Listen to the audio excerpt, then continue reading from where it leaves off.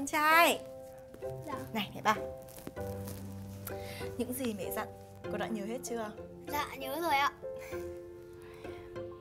Đứa nào cứ đụng vào mình thì cứ đánh. Thầy cô có phạt thì cứ bảo là bố mình làm to. Đúng đấy. Bố con ấy đường đường là giám đốc. Mà nhà mình ấy thì không thiếu gì tiền. Thế nên con trai của mẹ không việc gì phải sợ ai hết. Mà việc của con ấy là chỉ ngoan ngoãn và học giỏi cho mẹ thôi. Biết chưa? Dạ con biết rồi ạ. Nhưng mà Mẹ ơi Nhỡ cô giáo phạt con thì làm sao ạ Trời ơi Thì mẹ ờ, cho con cái điện thoại đâu? Ở đây. Con cứ gọi điện về cho mẹ. Xem ờ, cô giáo có dám phạt con không? Phạt con của mẹ là mẹ đuổi việc luôn. Thật ạ? Ừ, Thật chứ. Thế mẹ có nói dối con bao giờ không hả? Đúng không Việc của con ý là chỉ cần học giỏi Mà con không giỏi ý, Thì mẹ cũng tìm cho con một trường học thật tốt. Mai sau ý con ra làm sếp Chứ không phải làm nhân viên như mấy đứa nhà nghèo cái đâu Mà lo Biết chưa? Mẹ là tốt nhất Con yêu mẹ. Mẹ cũng yêu con trai của mẹ nè. Mua. Này nhớ gì mình dặn đấy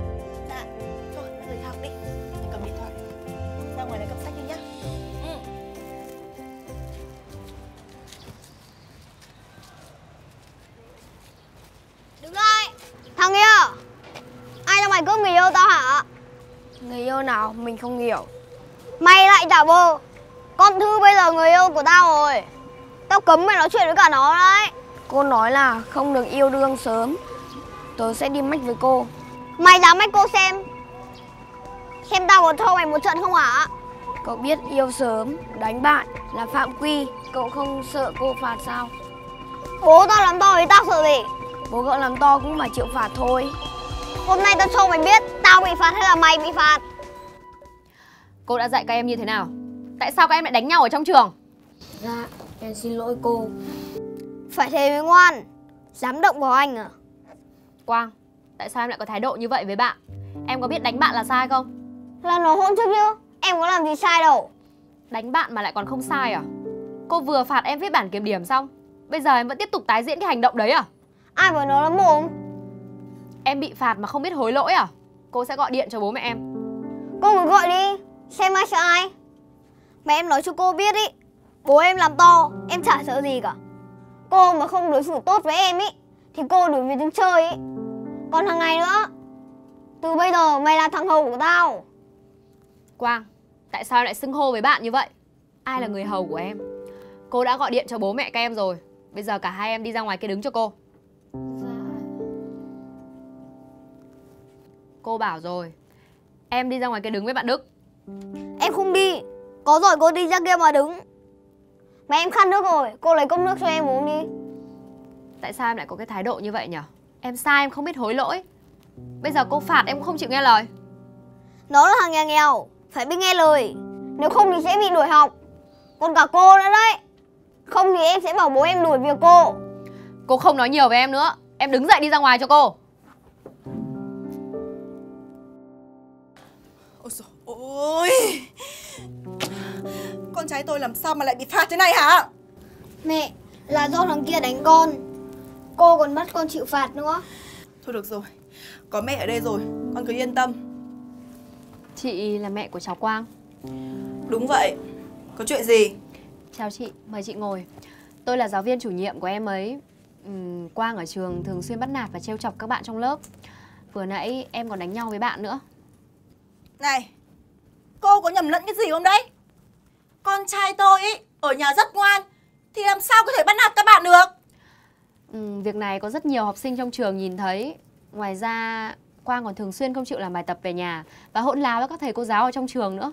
Này Cô có nhầm lẫn cái gì không đấy? Con trai tôi ý Ở nhà rất là ngoan. Chắc chắn là bạn bè sai trước Hoặc là thầy cô sai trước. Chuyện này tôi sẽ nói với chị sau. Nhưng mà chuyện Quang đánh bạn học là thật. Tôi có phạt nhưng em ấy không chịu chấp hành. Chị xem thế nào? Đánh nhau với cái thằng ờ, bẩn thỉu đứng ngoài kia á? Này nhá Chắc chắn là nó gây chuyện trước. Thế nên con trai tôi mới phản kháng lại thôi nhá. Cả hai em đã tường trình lại là Quang chủ động chặn đường và đánh bạn trước. Thế bây giờ cô muốn sao? Bồi thường bao nhiêu ý thì cứ nói thẳng ra. Để tôi còn đưa con trai tôi về nữa. Nhở Vấn đề ở đây không phải là bồi thường hay là không Mà vấn đề là em đánh bạn học là sai. Tôi muốn chị phải chỉ ra lỗi sai của em và xin lỗi bạn học. Cái gì cơ? Xin lỗi á? Xin lỗi cái gì? Trẻ con đánh nhau ấy là chuyện quá bình thường. Sao, sao cô cứ phải làm quá lên nhở? Tôi bồi thường tiền cho ấy là tốt lắm rồi đấy. Chị làm như vậy là dạy hư cháu. Khi cháu phạm lỗi thì cần phải biết nhận sai và xin lỗi. Đức, em vào đây em sai rồi, em xin lỗi. này không phải mày sai. Thì chẳng lẽ con trai tao sai chắc? Nhìn cái loại người đã biết không nên thân rồi. Sau này lớn lên ý không thành kẻ trộm thì cũng thành tướng cướp mà thôi. Đề nghị chị chú ý lời nói Là cháu Quang sai trước Xong lại còn chặn đường đánh bạn. Tại nó mách cô giáo chứ Không đánh chết nó là may lắm rồi đấy đúng đấy. Ai bảo mày chọn cái miệng vào hả? Con trai tao ý chưa đánh chết mày là may cho nhà mày rồi đấy Sao chị có thể dạy cháu như vậy được? Đức mách cô giáo cũng chỉ là muốn tốt cho bạn thôi. Đằng này Quang lại chặn đường rồi còn đánh bạn như vậy. Thôi thôi thôi thôi Cô đừng có lằng nhằng ở đây nữa đi. Mà tôi thấy nó có bị làm sao đâu. Sao cô cứ phải làm quá hết cái lên nhở? Thôi Tôi đưa con trai cưng của tôi về đây. Về tôi con Chị chưa về được. Lát nữa bố mẹ của cháu Đức sẽ đến. Chị cần phải ở lại để giải thích. Và để cháu Quang xin lỗi cháu Đức nữa. Này Có một cái chuyện bé bằng hạt cát Mà cô cứ thích làm to lên hết thì nhở? Muốn bồi thường thì cứ nói thẳng ra. Đây Chỗ này là 10 triệu. Cầm lấy. Một nửa ấy thì đưa cho bố mẹ nó Còn một nửa thì cô cầm lấy. Được chưa? Đi về thôi con. Chị. Cô cất tiền đi. Nhà tôi không thiếu tiền. Chào anh. Chắc anh là bố của cháu Đức ạ. Chào cô giáo.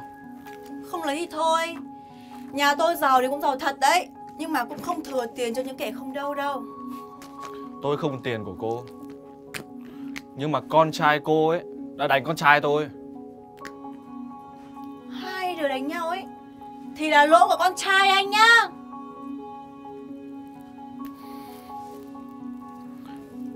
Con trai Con nói cho bố nghe Có chuyện gì thế này? Bạn ý chặn đánh con lại bảo con cướp bạn gái của bạn ý. Xong con xin lỗi bố, con sai rồi, con không nên đánh nhau với bạn ý. Không sao. Người con cần xin lỗi Không phải là bố. Người con cần xin lỗi là cô giáo này. Con xin lỗi cô, lần sau không làm thế nữa. Ừ không sao đâu. Cô biết đây không phải là lỗi của em. Thôi Các người cứ đứng đấy mà trình bày đi. Tôi đưa con tôi về. Đi thôi qua. Cô đứng lại. Cô định đi đâu?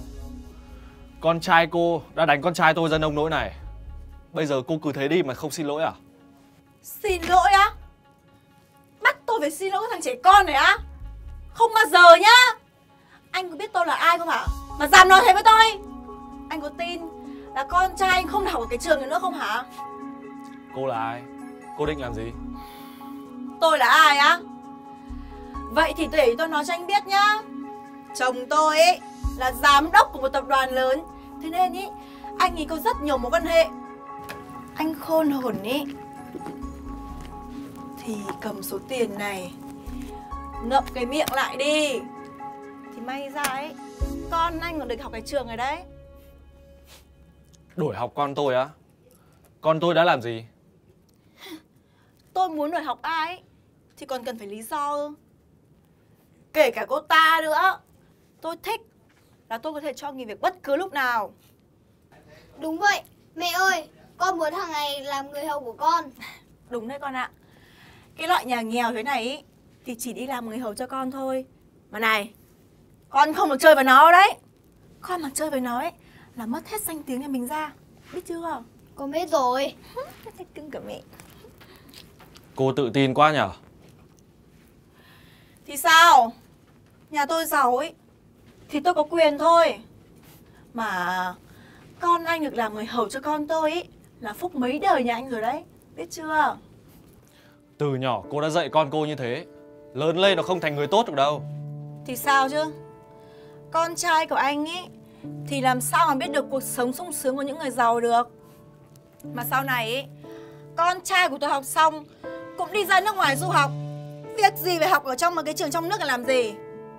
Mà ấy Anh khôn ra thì bảo con trai anh phục vụ con trai tôi đi. Có khi mai sau được hưởng lây đấy nhá Con tôi không cần ai giúp đỡ. Nó tự đi được trên đôi chân của nó. Còn cô ấy Cô cứ bao bọc con cô thế này. Sớm muộn gì cũng sẽ xảy ra chuyện thôi. Anh đừng có rủa con tôi. Tôi đã cho các người bậc thang mà các người không biết đường leo xuống á. Thì chuẩn bị đồ đạc mà cút ra khỏi cái trường ấy đi. Còn cô nữa cô đường đường là giáo viên mà không biết điều ý thì từ ngày mai cô không phải đi dạy ở học ở cái trường ấy nữa. Để tôi xem Ai có gan đuổi con tôi ra khỏi trường này?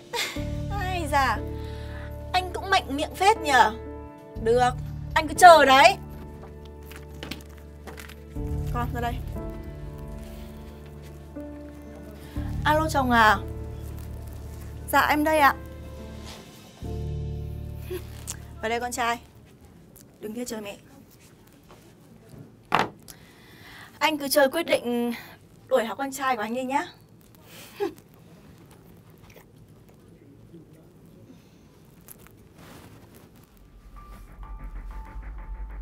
Alo.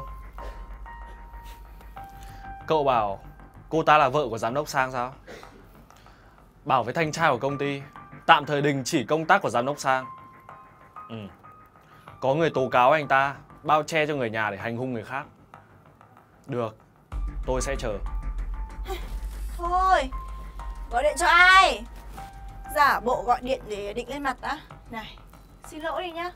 Cậu diễn hơi sâu rồi đấy.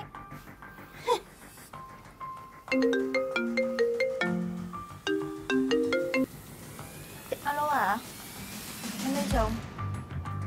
Sao ạ Sao lại cắt chức? Rồi điều tra cái gì ạ à? Chồng, chồng ơi sao Alo, alo Anh... Anh là tổng giám đốc của tập đoàn chúng tôi làm ạ Cô ngạc nhiên làm sao? Nhưng mà tại sao anh có thể để con trai của anh đi học ở một cái trường nó bình bình thường này được? Tôi muốn con trai tôi đi học ở những trường bình thường Cũng như ba bạn bè khác Còn cô ấy Cô cứ bao bọc cho nó như thế này Sớm mà hư hỏng thôi Tôi... Trang Cảm ơn cô đã dạy dỗ và chăm sóc con tôi cẩn thận Vâng, có gì đâu ạ. Đây là việc mà tôi nên làm. Dù sao thì tôi cũng cần cảm ơn cô Con Chào cô đi Hai bố con mình về Con chào cô. Ừ, em về đi. Kiểm tra xem có đau ở chỗ nào không nhé. Tôi xin phép cô nhé. Vâng. Đi con.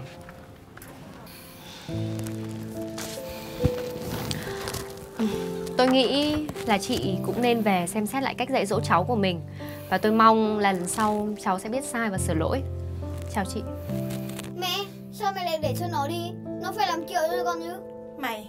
Mày đúng là cái thằng bất hiếu mà. Kiểu còn cái gì nữa? Bố mày ấy, còn bị mất chức rồi kia kìa. Về nhà về nhà để tao dạy dỗ lại mày. Đi về.